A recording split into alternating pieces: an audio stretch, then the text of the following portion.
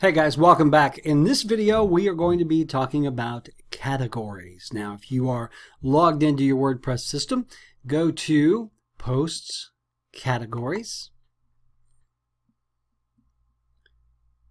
And let's look at the official uh, definition here. You can use categories to define sections of your site and group related posts. The default category is uncategorized until you change it.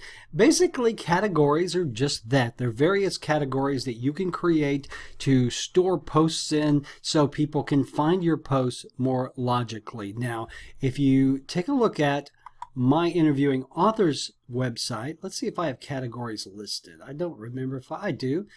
Some of the categories on my website, uh, advice for authors, authors, business, experts, featured books, fiction, general, etc., etc.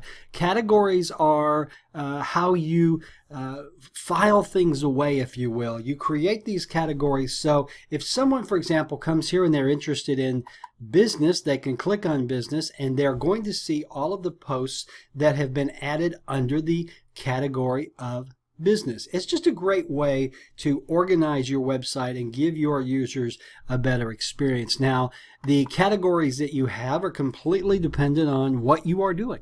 You might uh, be doing a, a small business blog, so your categories might be small business, entrepreneurship, uh, startup, funding, Again, think of it as a filing system. If you are talking about the overall topic of entrepreneurship or small business, and you had a filing cabinet, what would those file folders be labeled? So let's look at how you manage this.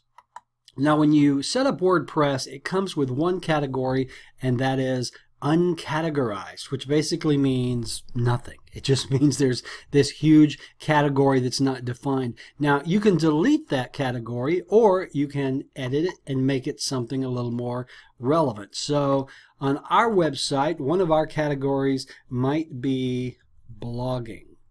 All right. Now, the slug is a, a not very nice name of, of what uh, uh, this uh, category is going to be called. It's the URL friendly version of the name, so I'm going to just call it blogging. Uh, there is no parent. What this means is, uh, are you nesting one category under another? And I'll show you that in just a second. You can type a brief description. This category is about blogging. And it's early here, so my fingers and my mouth are not working. Click Update, go back out to my categories, and you're going to see that now blogging is a category. And you can see that we have two articles that are under blogging. Now these are the two posts that we did originally and they were under uncategorized if you recall. Well because we changed that to blogging they're now going to be listed under blogging. See this is they were posted in uncategorized. If I refresh this page you're going to see that it is now posted under blogging and if I look over here on my right side widget, blogging is now a category. And I have two articles under blogging. All right, so let's create another category. Let's create a category called uh, SEO. And this is search engine optimization. We're going to slug it SEO no parent, and I'm not going to worry about a description on this one because the description is just for your benefit anyway. So I'm going to click Add New Category. And let's do another one. Let's do um, uh, Marketing. All right, Marketing. And that's it. Now, I want to look at how you add uh, categories nested under other categories. So if I go out to my website, one thing to make uh, a point about here is when I click refresh, even though I've just added categories, they're not showing up. The reason they're not showing up is they have no content under that category. If I go here and look, I don't have anything under marketing or SEO. Okay, both of my articles are under blogging. Now, if I want, let's uh, go out and just create uh, a new post. And I'm doing this just to show you how categories work. And we're going to talk, uh, let's say this is how you market. And I'm going to put some uh, placeholder text here. Let's see how well I can type in the morning. The quick brown fox. Believe it or not, I used to be a much quicker typist than I am now. But let's just grab that text just to uh, to have some content on the page. And again, I'm doing this to, de to demonstrate categories and category nesting. All right, so there's my blog. I'm not going to worry about, uh, yeah, actually let's do. Let's put a picture in just to remain consistent.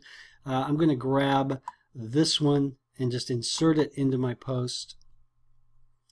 And now you'll see under categories, I have the option of posting this under blogging, under marketing, under SEO, or under all three. So I'm going to put it under marketing, and I'm also going to put it under SEO just so we'll have something there.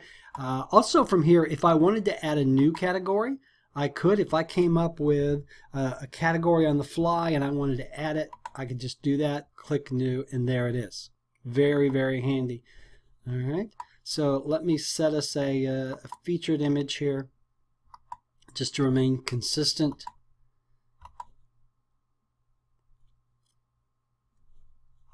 I click it? There we go. All right, so I'm going to publish. And now when I go back out to our home page, there is the most recent post. Remember the most recent is added at the top if that's the way you have it set up. And I used a featured image here as well as an image embedded in the uh, code itself. See, I just used a feature image there.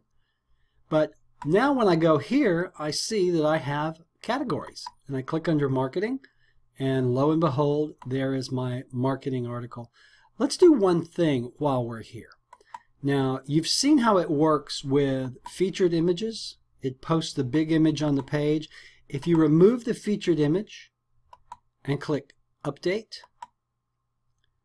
and go back out to our home page, the featured image is no longer there. You see the image that is in the article. And I actually like this much better. Some people do like the, the big picture here. And you can do it either way, or you can do it both ways. It doesn't matter. Just keep in mind that if you do use, at least with this template, with this theme rather, with the uh, suits theme, that is how it handles it.